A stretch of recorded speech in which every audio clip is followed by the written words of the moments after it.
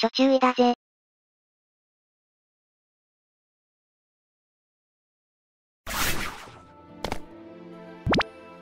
皆の者、またあったな。蘇った聖徳太子、豊里耳の巫女だ。風水師、物の部の太じゃ、糸とうとき蘇我の亡霊、蘇我の閉じ子だ。さて、それでは毛利元就解説第8話。ビンゴ細沢山合戦後に起こった、天子家の逆襲と、元就による高橋氏撃滅戦について、解説しよう。大使様、よろしくお願いいたします。1527年、ビンゴ細沢山にて天子常久と毛利元就、末置房連合軍は退治。元就らは、天子常久の野望をくじくことに成功する。しかしその翌年、大内義興は陣中で発病し、そのまま帰らぬ人となる。元成にとって、義興の死はかなりの痛手ですね。この時、秋武田家当主、武田光和は、大内、大友連合軍に攻められ風前の灯火だったが、義興の死により大内軍が全面撤退したため、なんとか滅亡は免れた。ただ、武田水軍の片翼だった、二歩島の白井越中の神家、白井義種は大内家に寝返ったままですし、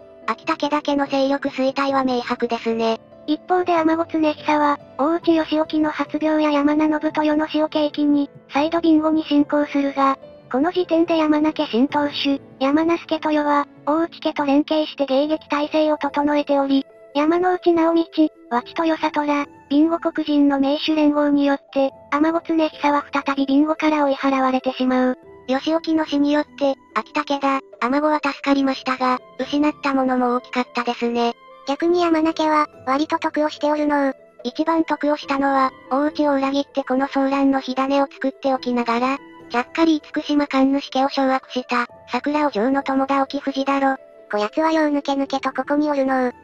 一方その頃、毛利元就と毛利家は、天子家から大内家の原料、そして細沢山合戦での先行により、広島湾からビンゴセラ盆地まで広がる領土を有し、大内家からの信頼も厚い、有力黒人へと出世する。友田沖藤も似た立ち位置でしたが、元成は非常に良いタイミングで裏切りましたね。その代わり、ここから元成は大内勢力圏の前線で、天子家と戦うことになるのだよ。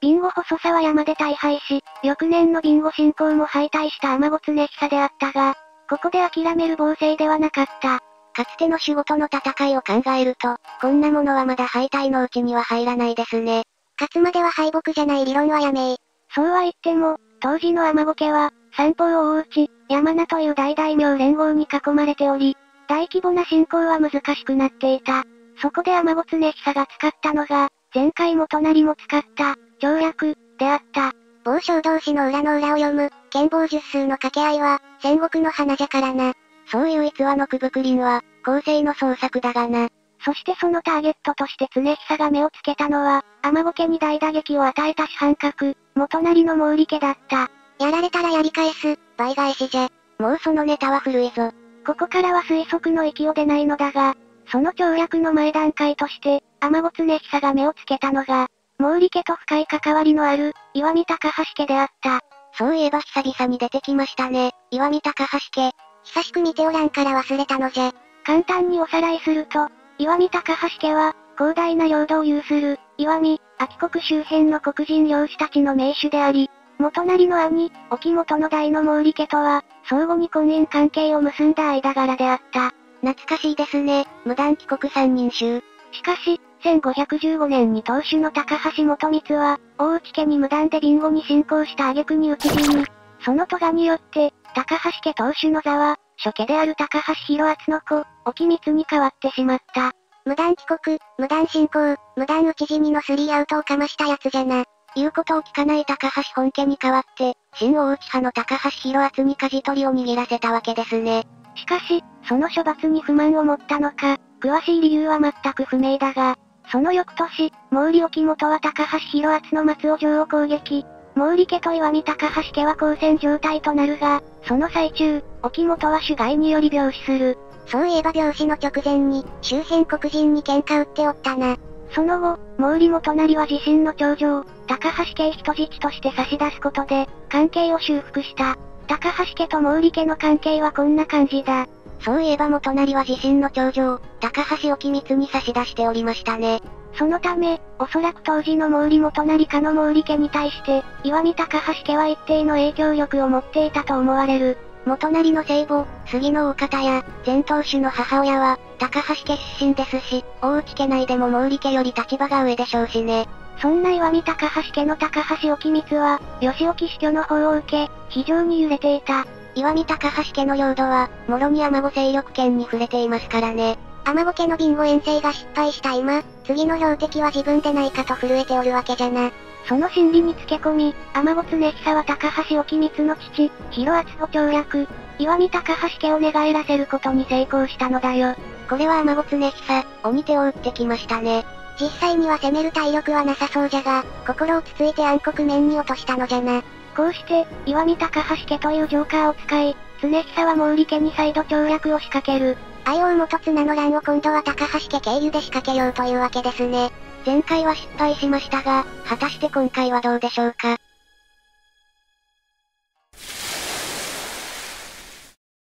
大内義興の死から1年後の1529年4月22日、大内家新当主となった大内義高は、小早川沖影に、このような書状を残している。毛利家中が錯乱状態となったが、すぐに収まった。もしまた不慮の事態が起きた際には毛利元就に協力せよ、と。ついに山子常久の魔の手が、毛利家に伸びてきたのじゃな。しかし、それも毛利元就、支持広吉コンビによって、すぐに沈められてしまったようですね。やはり防振に高性能 G 字のコンビはすごいのじゃ。また、天子常久はまだ当主が幼い、ぬた小早川家にも調略を仕掛けていたようであり、そうした調略の裏で、ビンゴ北部に3度目の進行、ビンゴ最北端の首都宮山城を攻撃した。これはまさに、防勢らしい手際ですね。しかし、この中でも売り元なりは、天子常久の調略を跳ねのけたばかりか、裏切った高橋広厚の松尾要害を攻撃した。高橋広厚の城は、こんなにも毛利家の本拠に近かったんじゃな。この岩見高橋家の裏切りは、大内義田からも危険視しており、秋国東西城からは、毛利元成の盟友となる、大内家家臣、広中高金、ビンゴ国中郡、広沢州の名手である、ビンゴ二大黒人の一人、和知豊里、そして毛利家とは犬猿の中であった、天満の家系、宍戸元義。彼らも援軍として、松尾要害攻めに加わった。一人変な奴もおったが、周辺勢力が結集して、高橋をフルボッコにしたのじゃな。秋、岩見国の名手を務めていた高橋家の裏切りは、大内家にとっても衝撃だからな。火種が二国に広がる前に、何としても潰しにかかったんだろうな。その結果、高橋広厚は討ち取られ、残るは息子の高橋沖光のみとなった。これを受け、5月19日に末置房は支持広吉に手紙を送っており、大内義高も宝泉寺を使者として派遣、元成の活躍を出した。ほんとこの二人は仲良いですね。また、大内義高は宍戸元義に対し、迷子と元成と相談して軍事行動するよう命じており、この事件を契機に、大内型国衆連合の名手の座は、岩見高橋家から毛利家に移ったのだよ。前回もそうですが、元成はピンチをチャンスに変えるのがうまいですね。一方で、天子常久は当座の目的であった、多賀山道継の瞳山城を攻略することに成功。ビンゴ北部に京都府を築くことに成功する。毛利家の跳躍が成功しようがしまいが、どっちでも常久には利があったわけですね。暴将らしい仕草じゃのう。結果的に秋、ビンゴの戦線を押し戻した常久の反撃が、ここから始まる。はずだった。しかしその直後、出雲を二分する大事件が起こるんだ。ああ、例のあれですね。なんじゃなんじゃ？ここから、天子常久は、これまでの報いを受けることとなる。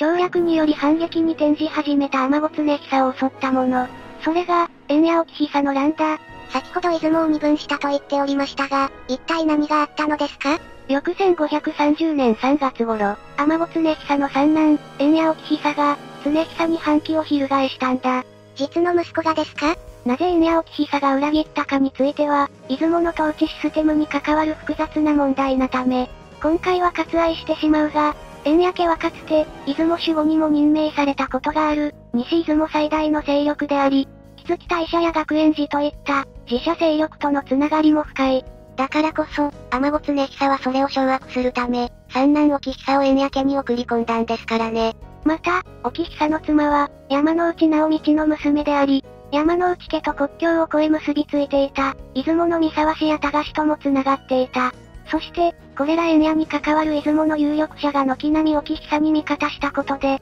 出雲を二分する内乱が勃発したんだ。常久はすごい勢いで裏切られとるのここまで出雲の統治者として強硬策を行ったツケが、この乱で一気に吹き出した感じですね。もしや、これは大内家、あるいは元成の協略なのですか？いや、この内乱を大内義高、あるいは毛利元成が、裏で手を引いていた証拠はどこにもない。また、内乱勃発からほどなくした5月28日、末置房は名優、支持広義にこのような書状を送っており、常久と沖久、どちらに味方すればよいのか、ありのままの意見が欲しいと依頼している。沖房がこう言っているということは、大内家にとってこの反乱は予想外だった、ということですね。この時点では、天子と縁屋の勢力は拮抗、あるいはやや縁屋方が優勢であり、大内家としては、天子常久に恩を売るか、天子家を潰すため縁屋家に味方するか悩んでいた。正直天子家には潰れてほしいけど、大内にとっては縁屋家も、よくわからない相手ですからね。我には縁屋一択じゃと思うのじゃがのこれに対し元成は、今回の騒乱は不死取り合い、つまりは親子間の戦争のため、常久方に味方すべきと進言する。天子をあれだけ嫌っていた元成が、常久に味方するとは意外じゃな。この書状は天子家に送った手紙だから、多分恩を売るためそう言ってるだけだぞ。そしてこうなると、孤立無縁になるのが、岩見藤掛城にいる高橋沖光だった。周りは全部敵、天子の援軍は到底望めない。秋田家だでもない限り罪じゃな。それでも沖光は最後の希望を託し、天子家と敵対していた縁家家に援軍を要請する。天子の援軍が望めない以上、それ以外に選択肢はないですよね。と入っても、西出雲を中心とする縁家方は、岩見とも距離が近く、もし縁家方が大内と敵対し援軍に入られると、岩見高橋家攻めが失敗する可能性もあった。そこでも売り元なりは、武略を用いて高橋沖光を切腹させることで、藤掛城を攻略したんだ。さらっと言っておりますが、一体どんな手を使ったのですか？おそらく、生田氏などの高橋家診断に手を回したものと推察はできるが、いつも通り、実際にどんな手を使ったかは不明だ。またですか。実際の部落や調略は、創作のようにわかりやすいものではないですからね。こうして、当時優勢を誇っていた岩見高橋家だったが、この一度の裏切りにより滅亡。旧高橋領の大半は、毛利家の領土となった。一時は家中錯乱の事態にまでも連れ込んだ毛利元成でしたが、終わってみれば領土の大幅な拡大、宍戸家との関係修復、大内家からの信頼増加、と得るものが非常に多かったですね。ノート事故、一つ気になったことがあるのじゃが。ん？なんだ？最初に元成は高橋家に、長女を人質として出していると言っておったな。その長女はどうなったのじゃ？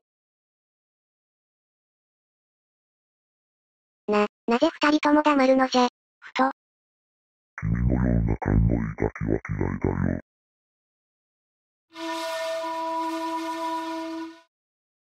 こうして旧高橋家領を手に入れた毛利元成は、支持広義の次男、斎徳丸、後の口場道義に高橋口橋を集家させて、岩見国側を、元成の異母弟と、北成勝に高橋北氏を集家させて、秋国側を、それぞれ支配を任せた。同じ異母弟でも、愛王元綱と北成勝はここで明暗を分けることになりましたね。また、お菓子や池田氏のように毛利家家臣となった者もおり、この中でも後に池田成光は、元成の直臣として取り立てられ、公や孫高橋成光、として高橋家の名跡を継いだだけでなく、岩見銀山の大官にも任ぜられている。この厚遇ぶりから考えると、池田氏は岩見高橋家攻めの際、元成に協力した可能性がありますね。また、長年高橋伊豆橋に横領されていた伊豆派450巻を、元成が取り返したことで、組谷伊豆派の二つ山城主、伊豆派助森は毛利家の与力となり、後に元成六男、伊豆派元友が養子として入ることになる。高橋家臣団も、毛利家に侵入するか、高橋諸とも滅亡して、乗っ取られるかの二択だったわけじゃな。他にも高橋家中として、雪田、下伊豆は、重信などが確認されているが、彼らの消息は不明だ。一方で、二つ山城の隣、本城要害を本拠としていた、と、思われる本城市は難を逃れていたのか、後に本庄常光という人物が、天子型の強敵として、元成の前に立ち塞がることとなる。生き残りが敵方に走ると、これが怖いですね。また、元成は大内家から支配の許可を取った後に、上下小500巻を獅子戸元吉に、身武装北方150巻を吉川沖常に、それぞれ譲っている。せっかく占領した土地なのにもったいないのじゃ。こういう細かい気配りが後々効いてくるんだよ。これは岩見高橋家攻めに協力した報奨である可能性が高いが、この一件以降、獅子戸家と毛利家の関係は、急速に回復する。なるほどの家督相続からあまり存在感がない毛利元成でしたが、ここに来てようやく頭角を現し始めましたね。ここから毛利元成は、高橋家に代わる秋国人たちの名手として、秋国全体を引っ張る存在になっていくんだ。ということで、次回は毛利家の新しいメンバー、熊谷氏と宍戸氏について解説しよう。どちらも毛利元成を語る上では外せない家ですね。今回とは違い、平穏そうなのじゃ。それでは皆の者、また会おう。さらばじゃ、またな。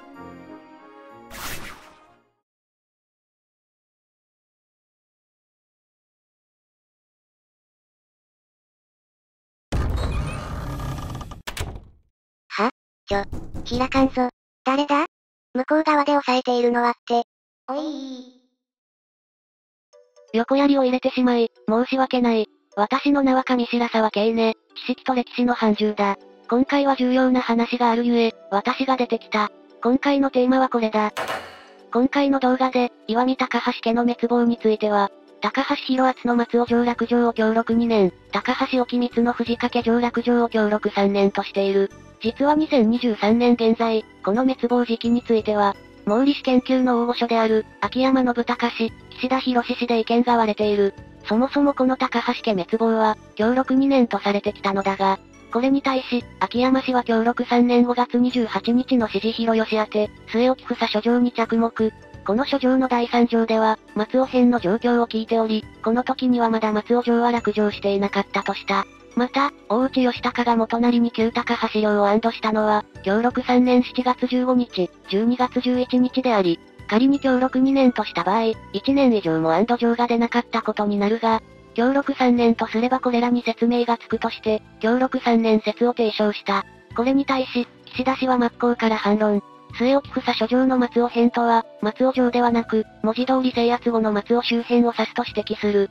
また、同書状の第6条にて、元成が6月には岩見出陣を命じられていたことに言及し、毛利家のすぐ隣の松尾城が落ちてない状況で、岩見出陣を命じるのは無理があると反論している。このように、両先生の意見が真っ向から対立しているのが現状だ。わかりやすく時系列にまとめると、協力2年説の場合、元成は即座に高橋家を制圧、その後円谷沖久の乱が勃発する。その場合、大内家が旧高橋領の安藤1年も遅らせている問題と、天骨根久がビンゴに進行中、主戦力の和知氏が毛利家に援軍を送っている問題が生じる。一方で、協力3年説の場合、円谷沖久の乱に乗じて毛利家らは松尾城を攻略。沖光は天子型ではなく、円谷型に援軍を要請したこととなる。その場合、松尾城攻略前に、元成は岩見に出陣を命じられている問題と、高橋家離反から1年近く、手をこまねいていた問題がある。本編では、この両先生の主張を入れた上で、松尾城落城を協力2年、藤掛城落城を協力3年とした。両先生ともに、円谷沖久の乱を絡めての議論はしていないため、今後はその点が鍵になると思われる。以上が本動画の注意点だ。気になった方はこちらの論文を読んでくれ。それでは、次回もまた会おう。さらばだおいいい加減開けろ、我、神ぞ。必死だぞ。ああ、えっと。それでは皆の者、次回も会おう。さらばだ